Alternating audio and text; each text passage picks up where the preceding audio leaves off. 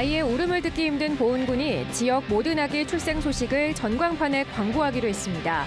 단 한 명의 출생이 지역 전체의 경사가 됐습니다. 충북에도 프로축구단이 창단했습니다. 2017년 충주 헌멜 해체 이후 6년 만입니다. 경기 침체에 임금 체불이 크게 늘고 있습니다. 당장 하루 생계가 걱정인 이웃들이 많습니다. 기후변화에 대응한 전 세계의 발걸음이 속도를 내고 있습니다. 정부는 물론 민간이 탄소 중립에 앞장서는 호주의 사례를 취재했습니다. 네, 시청자 여러분 안녕하십니까. 계속해서 MBC 뉴스투데이 충북입니다. 국가적 인구 감소 또 지방 소멸의 위기 속에 지자체마다 출생률 높이기에 사활을 거는 시대입니다. 장려금부터 금반지나 정자 테스트기까지 온갖 지원책이 동원되고 있는데요. 대표적 소멸 위험 지역인 보은군이 아기 출생을 온 동네에 알려 축하하는 광고를 시작했습니다. 정재영 기자가 보도합니다. 인구가 700여 명뿐인 보은군 회남면입니다. 절반 이상이 만 65세가 넘은 노인으로 새해 64살이 된 어르신도 이곳에선 젊은이로 통합니다. 지난해에만 주민 22명이 세상을 떠났는데 태어난 아기는 단 한 명에 불과합니다. 젊은 사람이 시골에 없으니까 내가 네 번째 어린 사람이요. 그런 애가 있을 수가 있어요. 내가 애 낳을 수는 없잖아요. 예. 이곳을 포함한 보은군 11개 읍면의 지난해 출생아 수는 다 합해도 80명, 8개 면지역은 채 5명이 안 됩니다. 6, 7년 전까지만 해도 한 해 200명에 가까웠던 출생아 수는 2년 연속 100명 아래로 떨어졌습니다. 아기 난 이제 본 지가 10년 넘었지요. 한참 됐지. 걔들 보고는 못 봤어요 여기는. 가뜩이나 인구가 줄어드는데 신생아마저 귀해지자 지자체의 대우도 달라졌습니다.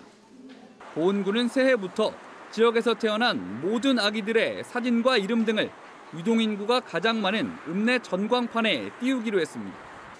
부모 동의를 받아 열흘 동안 지역 전체에 알리는 건데 전광판뿐만 아니라 지자체가 발행하는 월간 소식지에도 실을 예정입니다. 가뭄에 콩나듯 귀한 출생을 지역 전체에 알리고 함께 축하해 조금이나마 출산율을 높이려는 바람이 담긴 아이디어입니다. 주위에서 축하해주는 어떤 관심도 받고 자긍심도 생기고 요즘 아이를 안 낳으려고 하는데 이렇게 주위에서 관심도 많이 가져주는구나 이런 의미가 되면은 아이 낳는데 조금 더 여기에 산후 조리 비용과 육아용품 구입비 지원까지 장려금만으로는 별 효과가 나타나지 않으면서 지자체 출생장려 정책들도 한층 더 진화하고 있습니다. MBC 뉴스 정재영입니다. 청주 수성초등학교 구성분교와 충주 용원초등학교 동락분교 등 충북 6개 초등학교는 올해 신입생이 없는 것으로 나타났습니다. 특히 단양 영춘초등학교 별방분교는 지난해에 이어 2년 연속 신입생이 없습니다. 신입생이 한 명뿐인 학교도 청주 동화초와 충주 수해초 등 13곳으로 지난해보다 5곳 늘었습니다. 한편 올해 충북의 예상 취약 아동 수는 13,900여 명으로 지난해보다 300여 명 감소했습니다. 충북 청주 프로축구단이 공식 창단됐습니다. 30명의 선수와 코칭 스태프로 팀을 꾸린 충북 청주FC는 이제 K리그의 24번째 구단으로 올 시즌부터 K리그2에 참여하게 됩니다. 어제 창단식에서 관계자들은 신생팀다운 열정 넘치는 경기를 다짐했습니다. 이승준 기자의 보도입니다. 충북 청주 프로축구단이 창단했습니다. 프로축구 K리그 24번째 구단입니다. 전국 광역 지자체 가운데 유일하게 프로축구단이 없던 충북에 프로팀이 생긴 겁니다. 지난 2017년 충주 헌멜이 해체된 뒤 6년 만입니다. 팀을 이끌게 된 최윤겸 감독은 프로축구의 새바람을 다짐했습니다. 아, 열정을 가지고 또 준비를 해야 되고 어, 또 거기에 따른 우리가 충북 청주 프로팀이 생김으로써 우리 선수들이 조금 더 간절한 마음으로 도전하는 청주 FC 시절 함께 뛴 4명과 청주 대성고, 중원대 등 지역 출신, 다른 구단에서 영입과 임대 등 30명으로 선수단을 갖췄습니다. 아시안 쿼터 등 외국인 선수 영입도 마무리 단계입니다. 5년 안에 K리그 1 승격을 목표로 밝혔습니다. 창단팀이라고 해서 뭐 못할 것도 없고 잘할 수 있는 것도 아니지만 어, 최선을 다해서 플레이오프 진출까지 한번 해본다는 마음가짐으로 좋은 성적을 거둘 수 있게 노력 한번 해보겠습니다. 팀 창단을 가장 반기는 사람은 역시 팬들입니다. 영하의 날씨에도 서포팅이 계속되는 등 창단식부터 뜨거웠습니다. 첫 해부터 우승을 말하지는 않습니다. 하지만 어, K리그에답게 어, 청주를 대표해서 선수들이 정말 열심히 싸워준다면 저희가 그것만으로도 충분하고요. 그리고 서포터즈로서 항상 서포터 그, 선수들을 응원할 예정입니다. 이번 시즌 K리그2는 모두 13팀이 참가합니다. 충남 천안과 충북 청주가 신생팀으로 경쟁을 벌이게 됩니다. 성적뿐만 아니라 프로 구단으로서의 경영과 경쟁력을 갖추는 것이 관건입니다. 기업 연간 회원권이랄지 또 그리고 어, 우리 자체의 그 브랜드 상품 MD 상품을 개발해서 앞으로 어, 이렇게 좀 예산 확보를 할 예정으로 있고요. 창단식을 마친 충북 청주FC는 바로 태국으로 출발해 해외 전지 훈련을 갖고 본격적인 시즌 준비에 돌입합니다. MBC 뉴스 이승준입니다. 지난해 임금을 제대로 받지 못한 충북의 근로자는 6,600명을 넘어선 것으로 나타났습니다. 경기 침체에 체불액도 10% 이상 크게 늘었는데요. 설도 2주 정도밖에 남지 않았지만 임금 체불은 여전합니다. 김영애 기자의 보도입니다. 체불 임금 상담이 이루어지고 있는 고용노동부 청주시청 사무실. 일을 하고도 돈을 받지 못한 사람들의 발길이 꾸준히 이어지고 있습니다. 1년이 넘도록 밀린 임금 54만 원을 받지 못한 일용직 노동자도 결국 참다 못해 상담을 받으러 왔습니다. 명주로 다가오는데 지금 도 겨울이라 이 일이 그렇게 많지가 않지. 하루라도 받아서 생활하는 거는. 그래서 중간도 말로만 그러지. 그러니까 더 지금 막막한 거지. 설 명절이 얼마 남지 않았지만 임금 체불은 여전합니다. 당장 하루 생계를 걱정해야 할 힘든 노동자들이 대부분입니다. 생활이 전혀 안 되는 거죠. 계속 지금 뭐좀 빌려서 생활하고 정치가 보니까 집에 좀 느낌이 좀 그렇고 저도 대빵을 좀 자리를 알아보고는 있는데 지난해 1월부터 11월까지 충북의 체불임금 피해자는 6,600여 명. 1년 전보다 200명 이상 늘었습니다. 작년 말부터 금년 초에 이제 보통 한 하루에 30건 내외 이렇게 방문하셔가지고 상담받고 이렇게 진정을 내고 많이 증가한 상태입니다. 업종별로는 제조업이 2,300여 명, 건설업이 2천여 명으로 전체 피해자의 65.5%를 차지했습니다. 체불액도 390억여 원으로 늘었는데 특히 청주와 증평, 진천, 보은 등 중남부 7개 시군이 261억 원으로 1년 전보다 50% 가까이 급증했습니다. 최근 금리가 많이 인상되다 보니까 국가 내 경제가 매우 안 좋아지면서 특히 건넨 건설업 자체가 건설 현장에서 매우 임금 체불이 많이 발생하고 있습니다.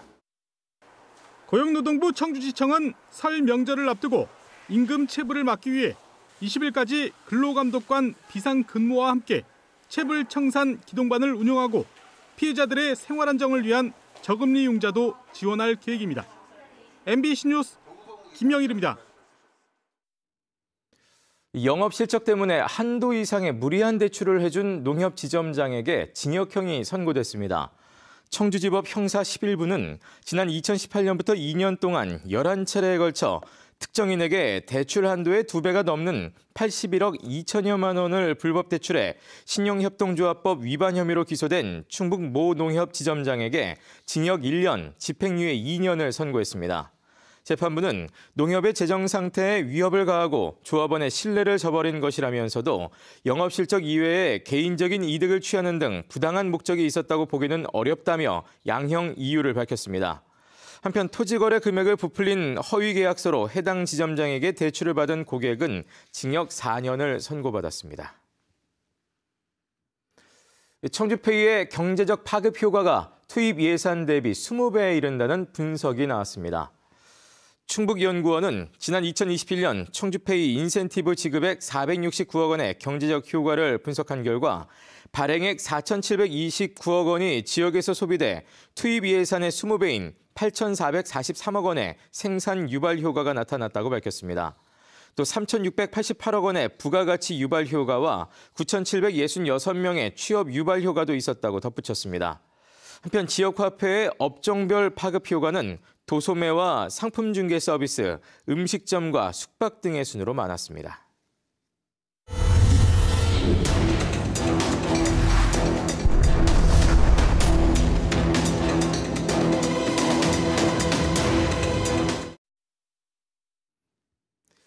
기상 재앙의 시대, 지구와 나를 지키기 위한 신년 기획 시리즈입니다. 오늘부터는 지구 반대편 호주의 사례를 집중 보도합니다. 중공업, 그중에서도 철강 산업은 탄소를 많이 배출하는 산업 중 하나인데요. 세계 유수의 기업들이 탄소 중립을 위한 혁신에 나서고 있는 호주의 현장을 조미애 기자가 직접 다녀왔습니다. 세계 최대 철광석 생산업체 중 하나인 포테스큐 메탈스 그룹. 서우주 필바라의 세계 광산어부를 운영하고 철도와 항구를 통해 세계 각지로 철광석을 수출합니다. 그 과정에서 연간 무려 200만 톤 넘는 온실가스를 배출하던 이 업체가 당장 2030년까지 화석연료 사용을 중단해 실제 탄소 배출을 0으로 만들겠다고 선언했습니다. 대신 풍력, 태양광 등 재생에너지와 그린 수소, 그린 암모니아로 에너지원을 100% 바꾸겠다는 것입니다. 2050년까지 탄소 중립을 이루겠다는 전 세계적 과제보다 20년이나 속도가 빠른 데다 아예 배출 자체를 안 하겠다는 목표로 탄소 중립보다 높은 기준입니다. 지난해 62억 달러 투자 계획을 밝히면서 탄소 중립이 실현되면 매년 8억 1,800만 달러 비용을 절감할 수 있고 2034년에는 투자금 전액 회수까지 가능하다고 자신했습니다. The immense opportunity of renewable energy being the cheapest form of energy in the world, the only form of energy that the more you use renewable energy, the more cheap it becomes, the more available it becomes. Simply, if all of us tap into renewable energy, we can consume as much of it as we want, and down comes the price. 다른 업체들이 가능할지 의구심을 가질 때 이 업체는 발빠르게 움직였습니다. 신재생에너지 자회사를 통해 재생에너지 생산과 저장 설비를 늘려나가고 운송수단의 화석연료를 대체하기 위해 기술을 개발합니다. 이 업체의 고민은 철광석을 생산할 때 필연적으로 발생하는 탄소를 어떻게 하면 줄일 수 있을까에서부터 시작했습니다. 그리고 현재 운송용 화물차나 선박, 그리고 열차의 에너지원을 바꾸는 데서부터 그 해결책을 찾고 있습니다. 첨단 엔지니어링 회사를 인수해 광물 운송 대형기기의 배터리 시스템 개발 속도를 높였고 건설용 기계 제작업체와 협업해 맞춤형 모델을 만들어냅니다. 당장 올해부터 광산 현장에 배터리 전기 초대형 중장비 화물차를 도입하기 시작해 2030년까지 기존 250대 화물차 전부를 교체할 계획입니다. 또 광산과 항구 간 광석을 운반할 무공해 재생 배터리 철광석 열차를 올해 최초로 도입할 예정입니다. 내리막 구간에서 생긴 중력 에너지를 활용해 복귀할 때 추가 충전이 필요 없는 전기 배터리 자가 충전 열차입니다. 이외에도 암모니아 동력 열차 엔진, 수소 화물차 등 개발이 한창 진행 중이고 그린 수소 수출로 사업 확장에도 나섰습니다. 다른 광산업체도 풍력과 태양광 등 재생에너지로 동력을 전환하고 운송 화물차의 화석연료도 대체하겠다고 나섰습니다. 세계 최대 광산업체의 니켈 부문 자회사인 니켈 웨스트입니다. 이 업체도 2030년까지 온실가스 배출량을 2020년 대비 30% 줄이고 2050년에는 탄소 순배출량을 0에 맞추겠다고 밝혔습니다. 벌써 재련소와 성광기, 정제소 등 주요 사업장에서 100%로 공급할 풍력과 태양광 에너지도 준비해뒀습니다. 운반 화물차 동력을 경유와 천연가스가 아닌 전동화로 추진 중이고 광물 탄산화 반응을 이용해 이산화탄소를 저장하는 기술도 연구 중입니다.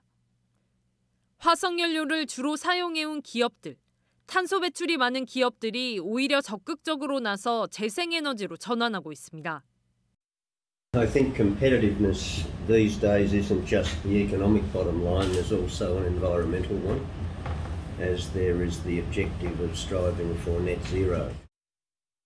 이 기업들은 탄소 중립 경주는 이미 시작됐다는 것을 오늘은 비용을 지불해야 하지만 그 덕에 고돌 내일에는 웃게 된다는 걸 잘 알고 있습니다.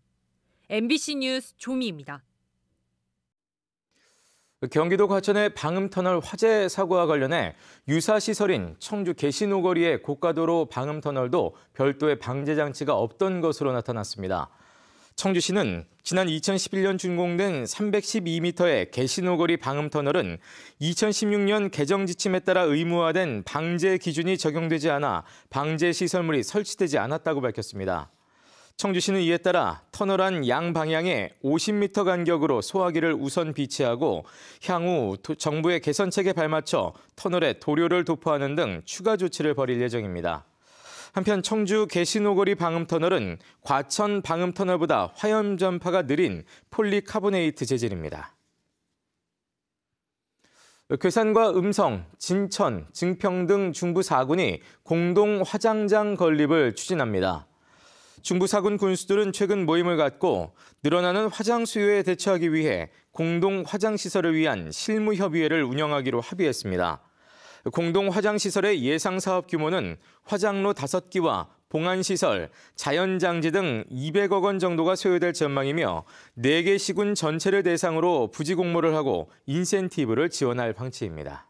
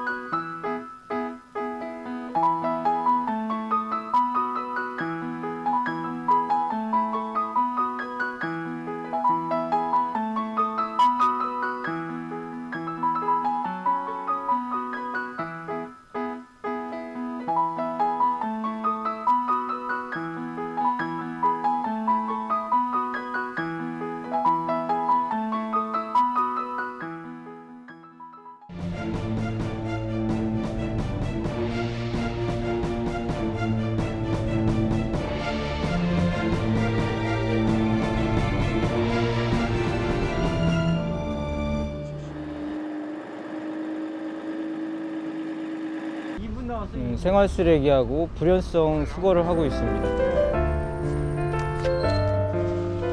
수거한 지역에서 깨끗한 모습을 보이고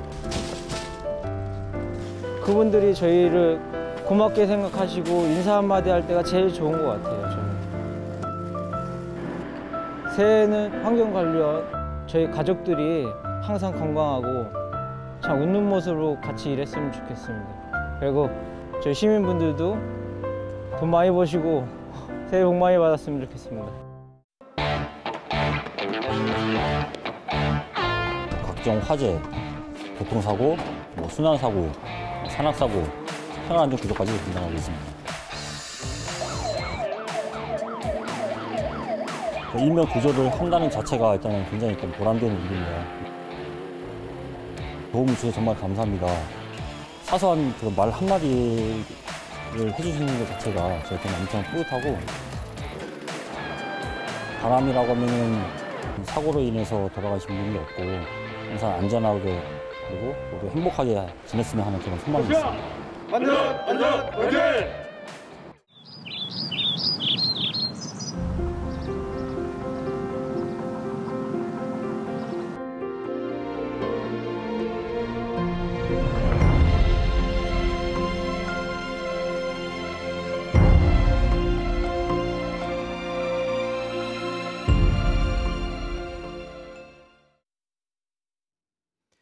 김철문 충주경찰서장이 경무관으로 승진 내정됐습니다. 간부 후보 41기인 김철문 서장은 지난 1993년 경위로 경찰에 입문해 2020년 청주 청원경찰서장과 2021년 충북경찰청 수사과장 등을 지냈습니다. 또 이와 함께 2017년 충북청 정복과장과 2018년 진천경찰서장 등을 지낸 송영호 경찰청 반부패 공공범죄 수사과장도 경무관에 승진 내정됐습니다. 강제추행 혐의로 해임된 충청북도 교육청 공무원이 처분에 불복해 소청 심사를 청구했습니다. 해당 공무원은 지난해 9월 청주의 한 버스 승강장 주변에서 지나가던 여성의 신체를 만진 혐의로 입건됐고 지난달 불구속 상태로 재판에 넘겨져 징계위원회를 통해 해임됐습니다. 도교육청은 다음 달 소청심사위원회를 열 예정입니다. 충북 4년제 대학교들의 정시 접수가 마감됐습니다. 국공립 가운데는 충북대학교가 1,071명 모집에 7,038명이 지원해 가장 높은 평균 6.57대 1의 경쟁률을 나타냈고 한국교통대 4.19대 1, 한국교원대 3.38대 1, 청주교대 2.5대 1 등의 순이었습니다. 사립대는 건국대 글로컬 캠퍼스가 7.75대 1로 지난해 8대 1보다 소폭 낮아졌고 청주대는 6.32대 1로 지난해 3.75대 1보다 크게 상승했습니다. 한편 극동대는 0.86대 1, 중원대는 0.53대 1로 모집 정원을 채우지 못했습니다. 충청북도 교육청이 직업계고 학생들의 취업 지원을 전담할 취업 종합지원센터를 건립합니다. 도교육청은 오는 2025년까지 국비 100억 원을 지원받아 AI 면접실과 회의실, 강의실, 또 구인구직 상담실 등을 갖춘 지상 3층, 지하 1층 규모의 지원센터를 건립한다고 밝혔습니다. 센터 입지는 아직 결정되지 않았습니다. 네, 뉴스를 마칩니다. 고맙습니다.